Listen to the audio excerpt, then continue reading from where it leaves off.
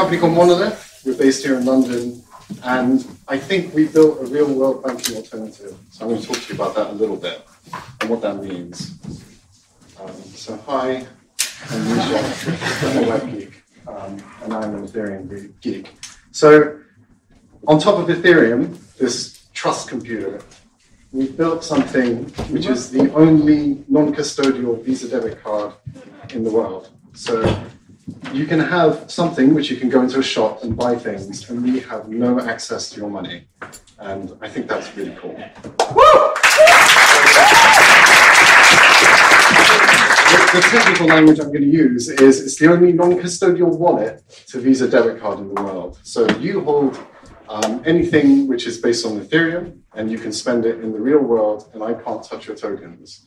Um, we, and it's and you don't even have to trust me when I say this, and this is what's made me super excited about this space and this technology. You can go have a look, and lots of people have looked at it, and please look and comment. Um, so it's an Ethereum native product. We only do Ethereum, and just to be clear, we're a centralized business trying to offer non-custodial services to users. I think, and I hope, within the next year, we'll be able to sack off our current accounts. I'll be able to take my salary in dollar pegs, in gold, and Ether, and I won't have to have a current account. And that's kind of cool. So, if we're going to build a, a, non-custodial banking replacement, I think one thing which is important there, one thing which kind of hets me up about the banking world right now, is this concept of participation. Um, I believe bankers are in di- their incentives are the direct opposite to my incentive models. What makes them rich makes me poorer as a banking customer. So we believe in participation. We have a token. Um, we we're in an early token raise. 1% of all usage of our platform goes into our token, and this is exactly what we promised in our white paper. We've delivered that. Um, so as you use our card, our token gets backed by, at the moment, ETH, DAI, DIGIX, DGD, MKR. Um, it's been live in the iOS App Store now for, I don't know, a couple of months, and I think Android, we're going to start signing people up now. Um, so yeah, I think if, if I'm going to build something which people can use and drives value, why can't why shouldn't everyone have skin in the game? And that's very interesting to me. Um, I think this is something which Mel talked about, our founder, quite a lot. This concept of digital disruption. So this is some really bad quote by someone. Largest taxi company, no taxis. Largest accommodation provider, no accommodation on their books. Alibaba, Facebook creates no content.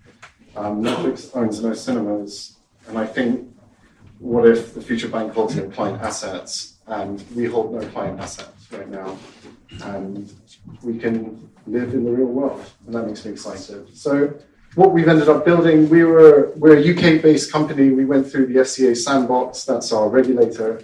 Um, we just presented our final report to the FCA last week, um, and we have the go-ahead to keep going.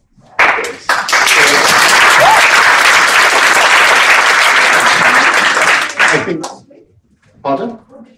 The, sandbox with the FCA. So it's the FCA South, cohort four. No other, no. No, this is us as a company. We're in the sandbox. Um, it was actually, yeah, and we're at the other side of it now. So just to be clear, our wallet, our crypto wallet, we have no access rights to. At the moment, the, the product, there's a fiat balance which is held within a regulated bank and that is custodial. That's a bank. So if you top up and put 200 pounds on it and use it, that's living with a bank. We have a model now and an implementation, a zero balance card, which um, Visa told us that as long as your regulator's happy, it's all kind of chicken and egg, but we're working towards having a zero balance card with no custodial access at all. And that's kind of exciting. Um, and I guess at a high level, we built Challenger Bank, which and an Ethereum project, and that's really hard work. You have to interact with, on one side, the Visa network, which has its intricacies, KYC, AML, and on the other side, you've got Ethereum, which is this, I don't know, um, eventually consistent database. And that's really interesting. We've had to build our own kind of alternative to Truffle in Go, which we open source. Um, pardon? Go I didn't hear that. um, I think maybe next slide. I think, um, yeah, we've got a customer service team in order to make Visa happy. We've had to go through serious kind of due diligence on all sides. I think taking an, an ICO business um, and getting Visa to onboard us and the FCA to be happy with us has taken a lot of compliance work, lots of, you know, lots of learnings there. Um, we've had to build our own block parser because, um, yeah, the Geth and parity um, JSON RPC just wouldn't do, actually. And I can talk about that um, later if anyone cares. We've done, um, yeah, lots of kind of compliance stuff, stuff which I'm, I do not come from a banking or compliance background. So I think I think within the next year or so, I'll be able to sack off my bank and I'll be able to take a virtual sort code bank account IBAN, receive that as an API call, realize that in some sort of digital asset which you hold in your wallet. And that's kind of cool. Um, it is kind of cool. Um, we're getting there slowly. So our Android app's coming out. DApp integration has become really easy for us, and loads of people are paving the way there, releasing our bug bounty. I think as it stands, we're a contract wallet, so interacting with other dApps like Kickback, we need you know, we need people like Wallet Connect, and Ram, and Wallet Connect and Pedro put together an EIP there um, to make the identity on Ethereum dApps be your contract wallet, not your externally owned address. So we're working on that. I think I like the Aztec protocol, guys. I think the private transactions is something which we're very interested in. So thank you. I think the privacy protocols is something else which I'm quite interested in at a more at a networking level. And I guess self-sovereign identity, I want to give a big bit of a shout out to people there. And the current FCA sandbox um, Onfido is pushing a self-sovereign identity piece with the ConsenSys team at Uport and with the Evernym project.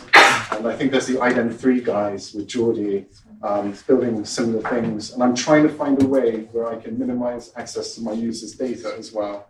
So for me, the holy grail would be no access to my users' funds and not having to build this fountain of user data and be able to um, kind of build on top of um, data which is held by someone else.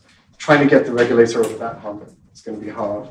Um, so at the moment, we're live in the entirety of the EA. Um, we're working towards going live in other places that's what's making me excited. And I think what I'm looking forward to is some recognition from the community. Um, you get get on our Android beta. It's just today is the first time, if you care, to play with the Android app.